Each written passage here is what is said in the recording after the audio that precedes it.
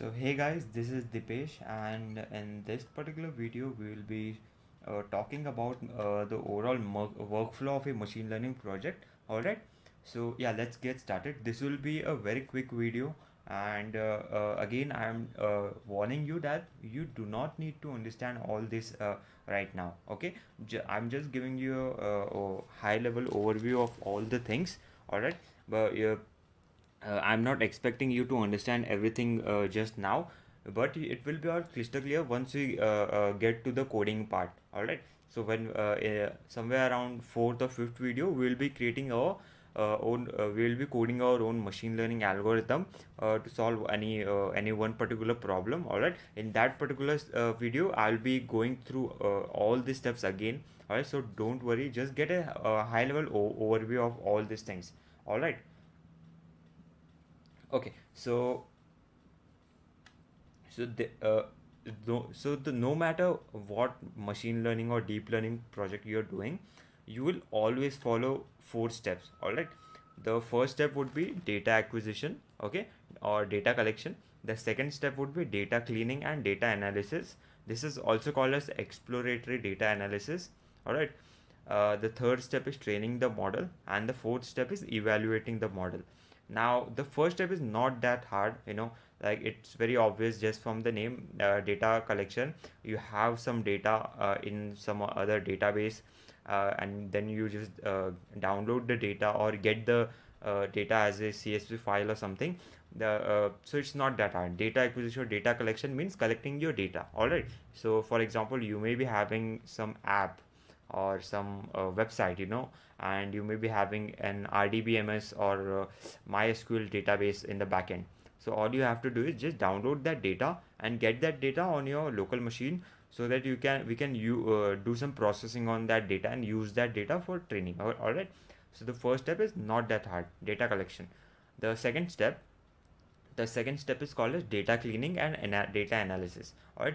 Now keep this in mind then no matter what you're doing data is very important. The the uh, uh, since like the overall performance of your uh, machine learning algorithm basically depends upon uh, uh, the purity and the quality of your data. So this second step that is data cleaning and data analysis takes up around like 70 to 80 percent of uh, the overall time of the entire machine learning project. Okay? Now uh, the third step is basically training your model. All right. Now in uh, in training your model we we basically we, we use the data uh, uh, that we have cleaned and pro- processed. Uh, we use that data from the from our second step and we you and we train our model. All right. So we use that data to train our model and learn the parameters. All right. And in the fourth step basically we evaluate our model. By evaluating our model we mean uh, we found find the total accuracy of our overall model okay? So uh, so we find how a model is basically uh, performing in a, in a real world case or you know or on a testing uh, data set. Now don't worry i will be explaining each and every uh, step in detail all right so yeah. So now be, before we move on now le- let me let me uh, uh, tell you about some common terminologies okay now uh, it may be very obvious since uh, uh, since our first video about some some of these terminologies but let me explain them again. The first uh, terminology is model. By model we always mean uh, like there is no particular like meaning to this word model but whenever we, we use model in the context of machine learning and deep learning we mean our machine learning algorithm. All right now there may be other meanings but uh, uh, as far as i've seen by model everyone uh, means the machine learning algorithm okay? So this is one terminology. The second terminology is uh, the second terminology is features dimensions in, and independent variables. All right now don't worry if you don't understand you will it will be all clear when we actually code everything. All right now all these three words like the features the dimension and the independent variable. All these three words mean they just uh, have one similar meaning in the context of machine learning. And that is a single column you know. On my screen you may be seeing there are like there are four columns right now all right? So each of this column you know the each of this column uh, uh, here each of this column like the age experience work salary each of this column we, we can call them as features all right? Features or independent variables or you know now independent variable uh, now there is a difference between independent variable and dependent variable. All right now independent variables are variables which we actually use uh, uh, yeah, are our input. All right and dependent variable are our uh, output. Okay? So for example uh, let's say you want to predict the salary of a person given their age experience and job data. All right now age experience and job will, will be our independent variables all right and uh, salary will be our dependent variable.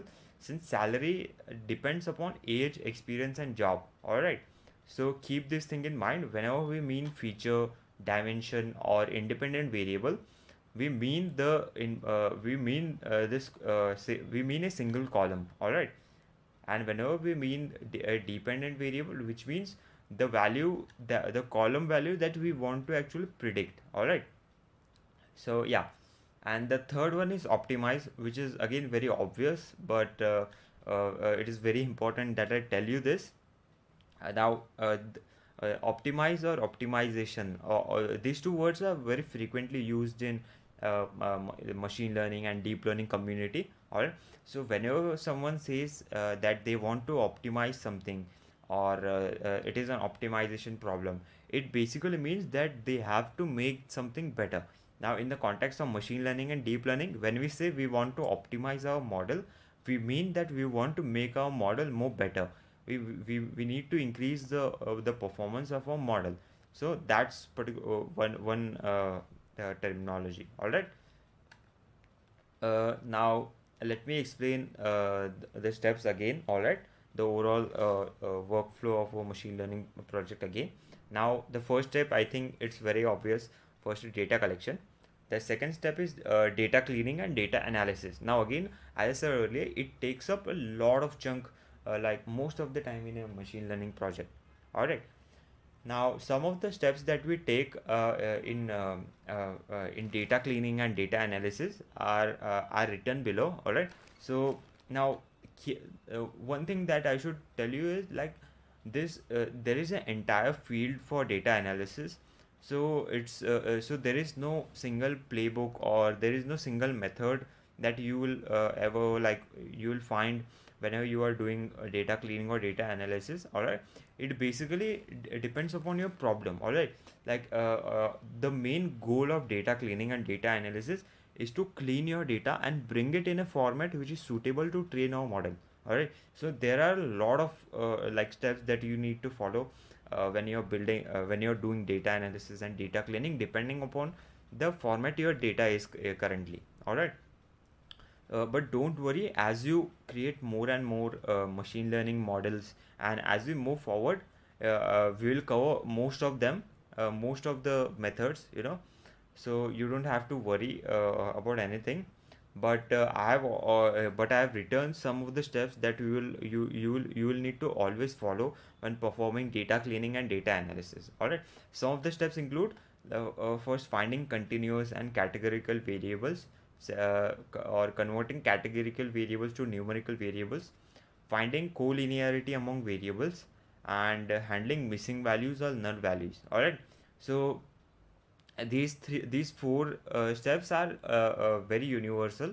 You will always follow these steps uh, um, during data cleaning. All right. Now there are again like there are a lot of things that you you have to do in data cleaning, but don't worry about them. Just uh, uh, at the as a beginner just keep this in mind that you have to follow these four steps all right also don't worry if you do not understand what uh, continuous variables or categorical variables or uh, what collinearity means. As we move forward i will explain everything uh, uh, to you. All right. So yeah. Now again variables. All right. These are these are the these are very important terminologies or things that you must know before we begin uh, before we start creating our models. All right. Now some of you who have studied uh, uh, who have studied uh, mathematics you know they you you may be uh, already be aware of the these things but uh, some of you who, haven't studied mathematics in your college or something don't worry i'm explaining everything that you need to get started with machine learning or creating your machine learning algorithm all right so the first thing is variables all right now as i told you that whenever we whenever we say feature dimension or independent variable we mean a single column all right a single column and a single column basically holds can hold different kinds of data. Now as you can see in front of me we have four columns. Now the the data that the age column uh, holds is in numerical format. And the data that the experience column holds is also in a numerical format. All right but the major difference is the type of value they are holding you know? Uh, the uh, basically variables can be divided into three types. All right like in machine learning when you're dealing with structured data you know in in our last uh, uh, lecture we talked uh, what is structured data. Now structured data is data which is already in a tabular format. All right. So whenever you will be dealing with structured data you you you have basically three kinds of variables. All right. First is discrete variable. Uh, the second is continuous variable. And the third is category categorical variables. All right now discrete variables uh, are variables which are very discrete. Okay. Now uh, uh, uh, something like 10 or 20 or 25 you know these variables are very discrete. Now the uh, the other type is uh, continuous variables. Now continuous variables are basically variables which are not discrete. So for example 24.5 or 1.2 you know 5.6 these are all these kinds of variables are called as uh, continuous variables. Uh, whereas discrete variables they are very discrete.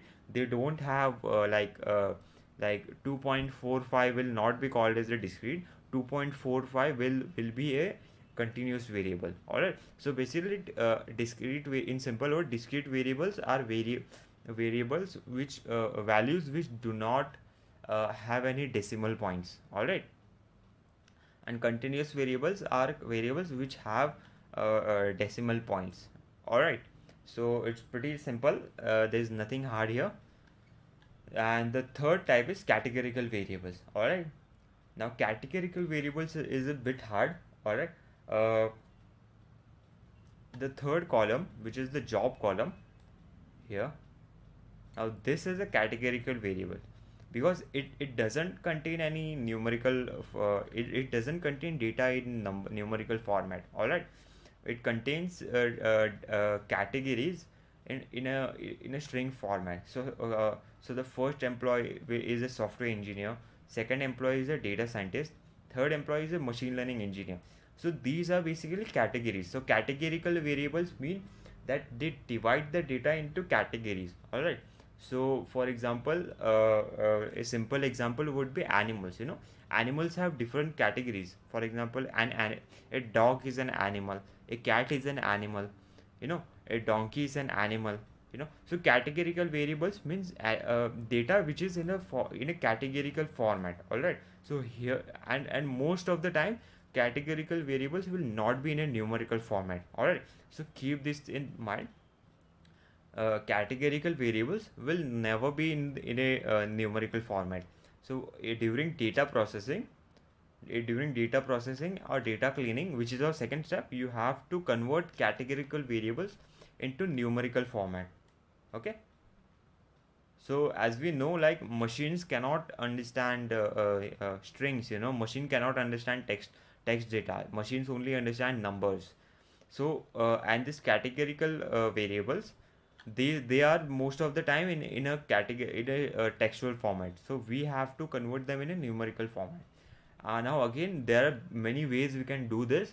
And then in the next video i, I will be telling you uh, how we can convert the categorical variables into numerical format. All right so don't worry about it. In next video uh, we'll be uh, coding everything uh, uh, on our own and I'll show you how we can basically use convert categorical variables into numerical format using uh, uh, Python's sklearn uh, library. Alright?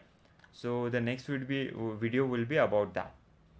Now again I think uh, it should be very clear the variables are uh, of three types discrete continuous and categoricals. Alright these three are basically the most common uh, type of variables that you will face in in your day-to-day machine learning problems. Now again like uh, uh, the next topic is data splitting. All right now you know now once we have our data you know once we collect our data uh, during the data acquisition step what we do is we uh, clean the data and uh, we analyze the data for for our for, for our machine learning model all right now once this data is cleaned you know once the data has once all the missing values has been removed once the categorical variables has been converted into numerical format uh, once the data cleaning is done what we do is we split the data. All right let me write this here. We split the data. Split the data into train and test set. All right so basically what we do is uh, let's say we have thousand uh, uh, data on thousand credit card users. So what we do is we we split some portion of uh, the data you know for training our model and we take some part of the data uh, for for evaluating our model. All right now training our data now the most common ratio that we follow is 70 30 percent so we split the 70 percent of our data and we use uh, and we use 70 percent of our total data for training our model and we use 30 percent of our data to evaluate our model. All right so uh, once the data cleaning is done what we do is we split split our data into train set and test set. All right so for example we have three examples here all right so what uh, in in our table we have three examples. So what we can do is we can use the we can use two examples two uh, uh, rows for training our data and we can use the third example for testing our data. All right now this is a very simple example. Uh, if, uh, in real world cases we'll have thousands of uh, rows. All right so uh, we there are again many tools that we can use uh, uh, to split our data the most common uh, library that we use is sklearn's uh, train test split uh, method function you know. So it's very easy to split our data so don't worry about it. We will be doing this practically in in our a fourth or fifth video. So again like once the data is clean we train our data we split our data into train set and test set. Then we use the training set to train our model. And in the fourth step which is also the final step what we do is we use out we use the testing uh, set and we evaluate our model you know okay? So we evaluate our model and we find the accuracy of our model. So that was the fourth step. Now once the evaluation of our model is done we can easily uh, uh, uh, we can uh, deploy our, we can easily now deploy our model okay? We can deploy it in our in any we can use our model in any uh, application website or something or we can even Uh, uh, simply uh, create a rest api for our model. Okay? All right now again one important thing that i should tell you is training our model. Okay? Now training our model basically there are two ways you can train our model. Okay? Now let me write this here. Training our model. Now there are basically two methods that we uh, we can use to train our model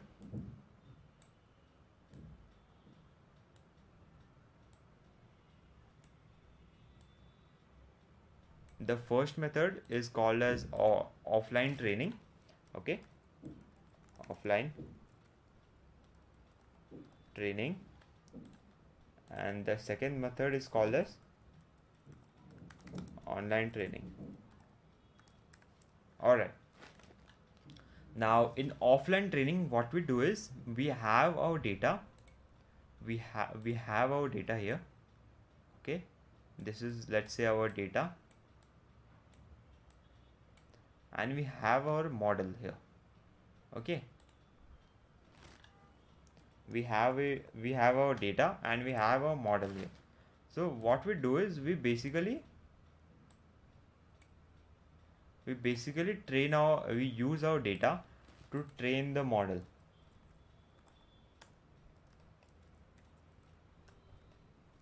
We use data and then we train our model.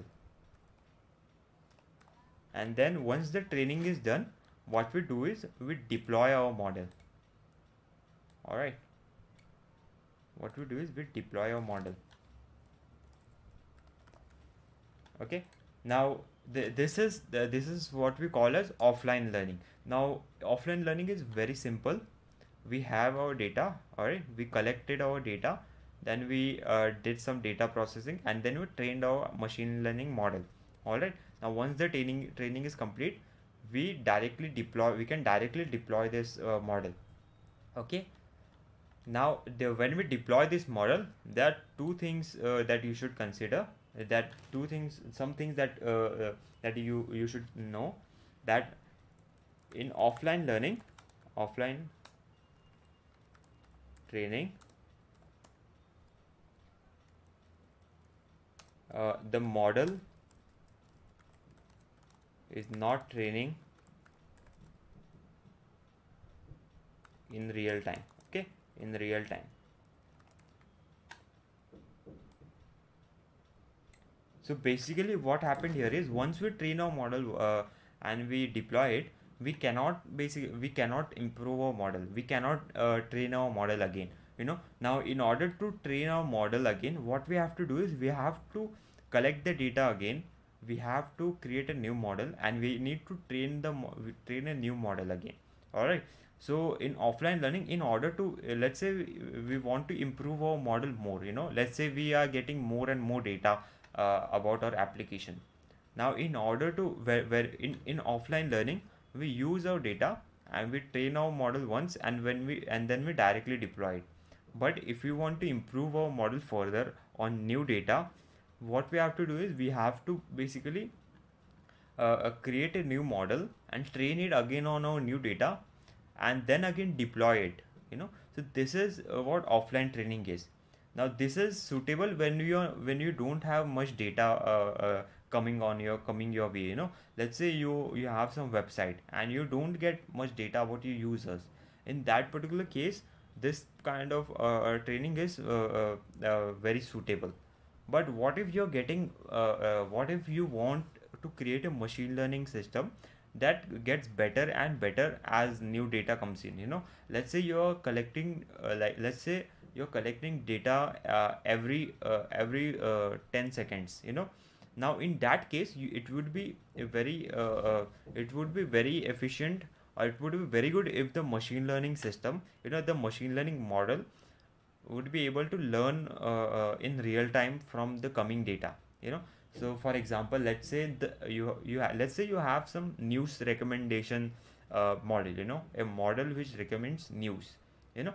Now in this case we want our model to uh, uh, uh, recommend the latest uh, news to the users. Now in this case we cannot use offline training you know we want the model to learn as uh, learn uh, about the latest news or the latest data and then recommend the latest news to the users. Now in this in this particular case we, we what we want to do is we want to train our model as frequently as possible. You know so now this is where offline training comes in. All right then offline training what we do is we rather than training our model once and deploying it what we do is we train our model every uh, after every uh, particular interval you know. So it could be the interval could be like every minute or every 2 minutes you know. As the data new data is coming in we train our model and the model gets better and better you know. Now this is what we call offline training. Whereas in off uh, this is what we call online training.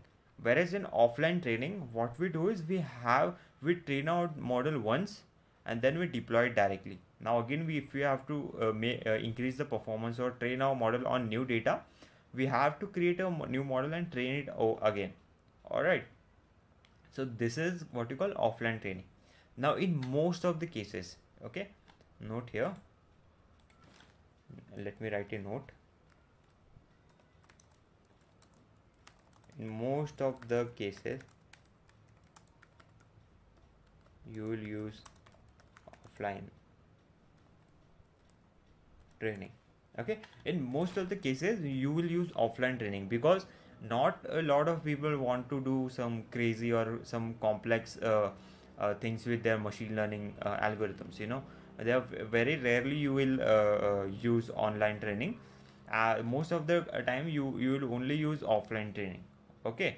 So don't also don't worry if you do do not understand this yet okay these the, the it's not easy to understand this uh, at the uh, in the first try but uh, the only uh, like the only time that you will understand everything that i've told you yet is when you will start creating your own machine learning uh, models. Okay?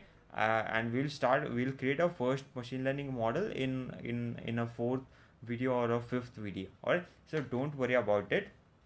Uh, uh, by the end of this course it would be all crystal clear to you. Now the next video would be uh, the next video would be about data cleaning and converting categorical variables into numerical variables. All right so we would be uh, uh, uh writing our first python code for data cleaning.